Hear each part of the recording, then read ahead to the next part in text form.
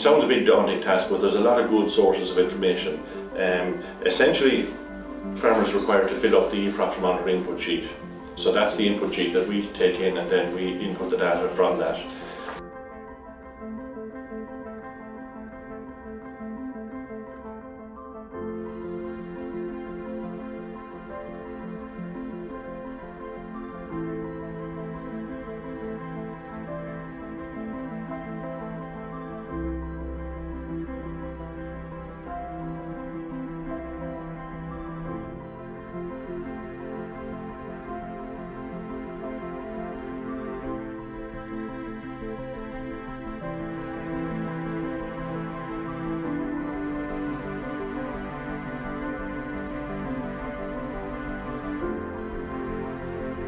The biggest difficulty is balancing livestock numbers.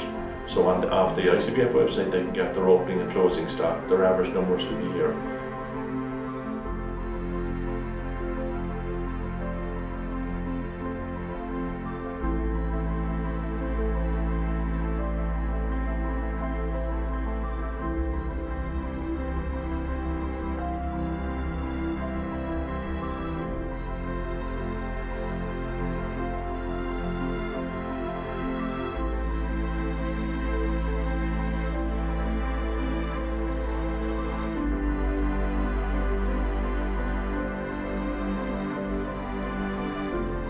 ICBF uh, collect all of the sales and purchased all the livestock movements, so all the livestock sales of the farm, all the purchases, uh, the weights and the prices.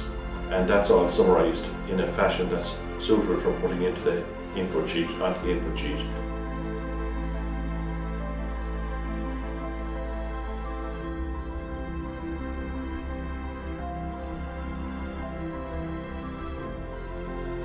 Farmers can take their, examine their, look at their purchases off their farm accounts. If they're not completed at that stage, it's a matter of just going through their sales and purchase dockets or their purchases, their inputs uh, and invoices.